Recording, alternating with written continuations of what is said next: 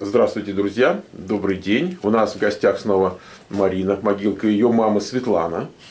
Значит, э, у нас девушки не просто так, а с сувенирчиком. Э, Покажите, вот там написано премиум, царская, Царская какая-то. премиум, да. Царская премиум. Такое на- нам говорят, что в магазине не купить. Расскажите, почему. Рассказываю. Значит, Так. во-первых, потому что она... Нет, ну с золотом, наверное, что-то есть, да, или нельзя такое вообще золото? Не Я видела не знаю, я, если честно, ну, не Там привыкла. золото. Так, Там, давайте там мы... плавает золото.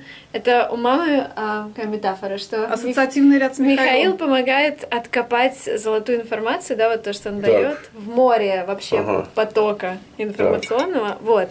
Это специальный заказ, который делали эм, для топовых эшелонов налоговой.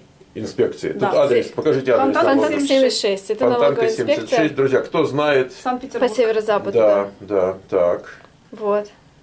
Вот она, прямиком из, И из- вот там золотишко, золотишко из, плавает. из золота. Да, и на, на дне герб Российской Ну, Федерации. покажите герб.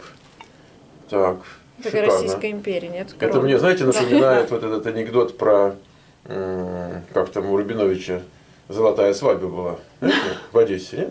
И там приходят гости, ну это в советские времена еще все дефицитно, приходит и говорит, ой, ты знаешь, Абрам, говорит, бегал, всю Одессу оббегал, золота нигде нет. Так я тебе принес конфеты золотой ключик. Потом другой приходит и говорит, ты знаешь, говорит, Абрам бегал, ни, ни, золота нет, и, так я тебе принес какао, золотой ярлык. Вот, а третий приходит и говорит, ты знаешь, золота нет, оббегал всю Одессу.